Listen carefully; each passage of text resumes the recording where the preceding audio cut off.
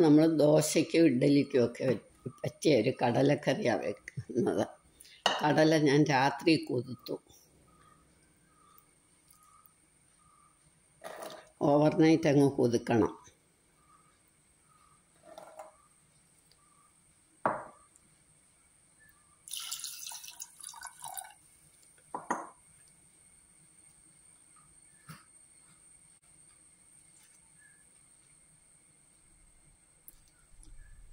മഞ്ഞപ്പൊടി കൂടി ഇട്ട്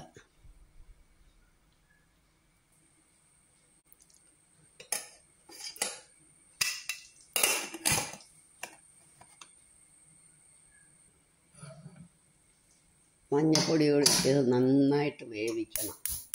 ഒരു അഞ്ച് വിസിൽ കേൾക്കട്ടെ. ഒരു സവാളയും ഒരു തക്കാളിയും കൂടെ നമുക്ക് അത് വേവുമ്പോഴത്തേക്കും അരിഞ്ഞെടുക്കാം. അരിഞ്ഞ് വഴറ്റണം.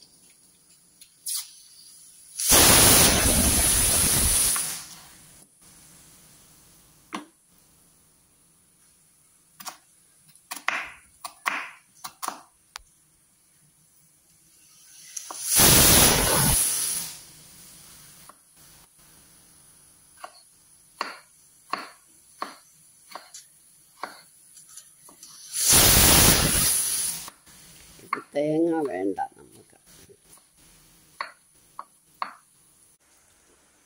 നമ്മളുടെ കടല വെന്ത് കഴിഞ്ഞു. ഇനി നമുക്ക് ഈ തക്കാളി സവാളയൊക്കെ ഒന്ന് വഴറ്റണം.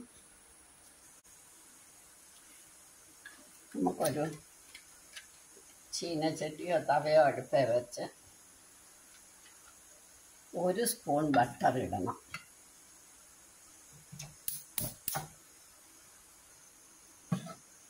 ബട്ടറില്ലെങ്കിൽ വെളിച്ചെണ്ണ ആയാലും മതി. ഒരു കഷ്ണം ഇഞ്ചി.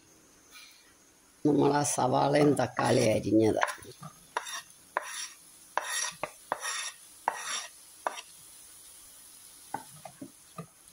നന്നായിട്ട് അങ്ങ് വഴറ്റണം.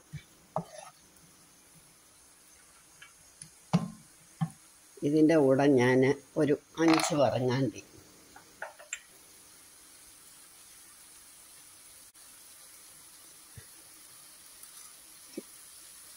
അര ടീസ്പൂൺ മല്ലി അര ടീസ്പൂൺ ജീരകം.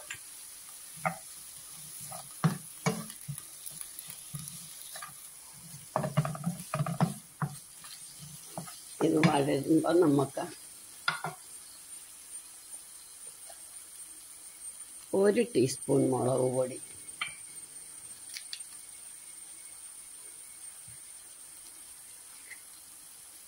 കായപ്പൊടി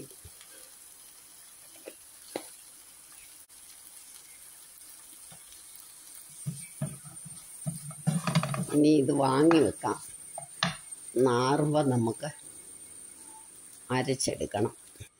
ഇപ്പം നമ്മുടെ കടല വെന്തെന്ന് നോക്കാം വെന്തോന്ന് നോക്കാം. കടല നല്ല ഭംഗിയായിട്ട് വെന്തു. ഇനി നമുക്ക് ആ എന്തോ ഇനി ഉപ്പിട്ടിട്ട് ഒരു രണ്ട് വിസിൽ കയറ്റണം അപ്പോളെ ഉപ്പ് പിടിക്കും.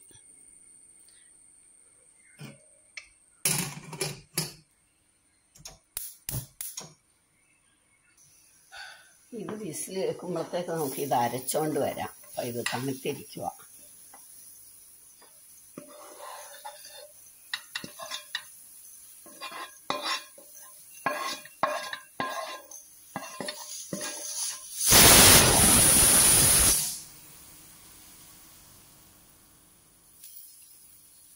അരച്ചോണ്ട് വരാം.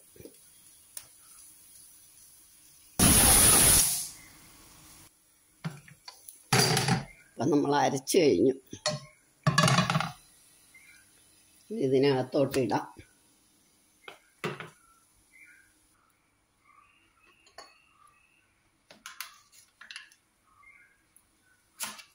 ഒരു അര സ്പൂൺ വെണ്ണയും കൂടി ഇടണം.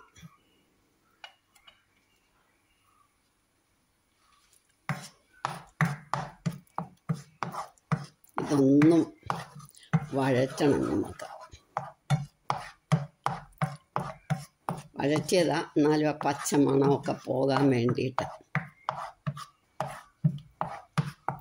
മിക്സി കഴുകിയ വെള്ളവും കൂടെ ഒഴിക്കാം.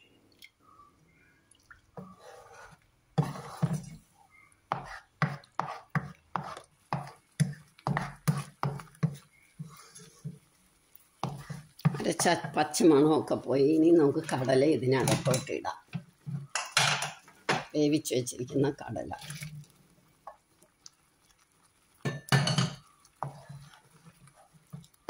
ഒട്ടും തേങ്ങ വേണ്ട. നമുക്ക് നല്ലൊരു കടലക്കറി. ഇനി ഇത് കിടന്നൊന്ന് തിളച്ച് കുറുകട്ടെ.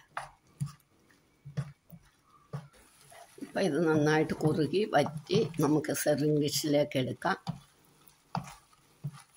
രണ്ട് മല്ലിയില ഇപ്പം രണ്ട് മല മല്ലിയില ഇടാം. ഇനി സെറിങ് ഡിഷിലേക്ക് എടുത്തിട്ടും ഇടാം.